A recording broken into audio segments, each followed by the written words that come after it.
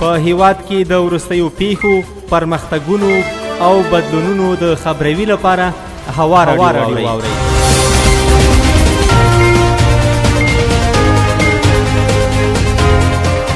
هوا څلور نوي اشاریه اووه اف ام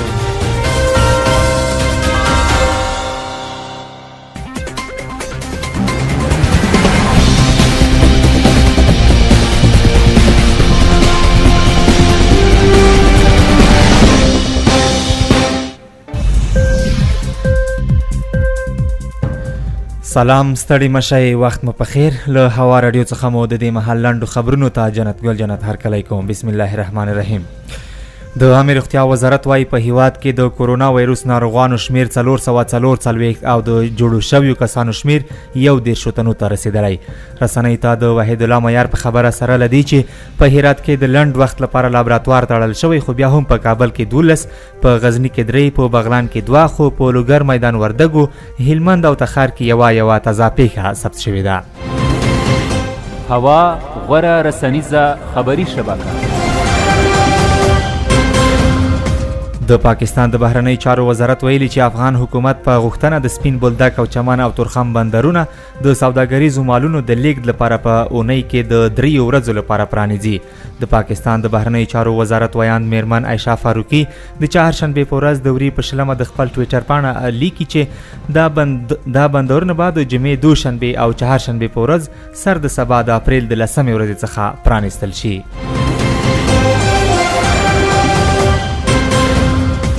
په قطر کې د وسلوالو طالبانو سیاسي دفتر وایي افغان حکومت د طالب بندیانو د آزادولو بهیر ځنډوي او دوی به اوس له امریکا وغواړي چې د بندیانو آزادولو موضوع حل کړي په دوحه کې د طالبانو د سیاسي دفتر ویاند سهیل شاهین د اپریل په اوومه رسنۍ ته وویل له افغان حکومت سره د دوی د تخنیکي ټیم لیدنې غیر موثرې او هم یې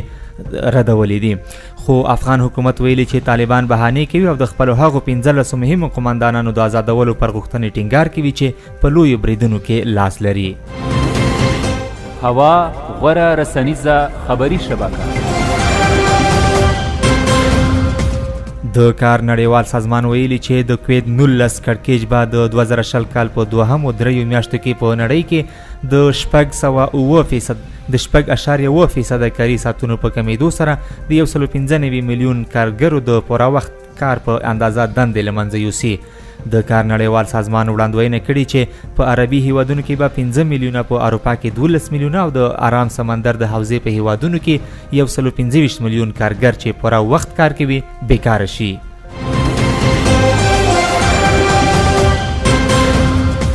او وروستی خبر داسې دی چې د نورې نړۍ په څیر په پا پاکستان کې هم د کویډ 19 ساري ناروغۍ لامل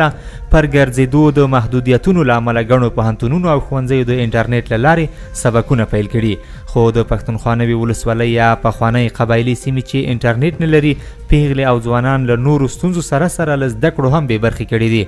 د کورمې ایسودونکي نالیا الطاف چې د پېښور پوهنتون زده کوونکي ده وایي په سیمه کې موبایل ټلیفون کار نه کوي انټرنیټ خو لرې خبره ده هوا غوره رسنیزه خبری شبکه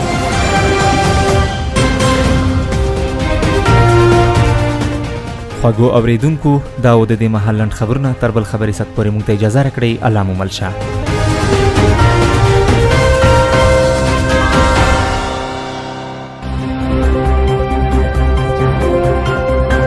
موږ مو د سیمې او نړۍ څخه د تازه او ګرمو سیاسي مسایلو اقتصادي فعالیتونو او امنیتي پیښو څخه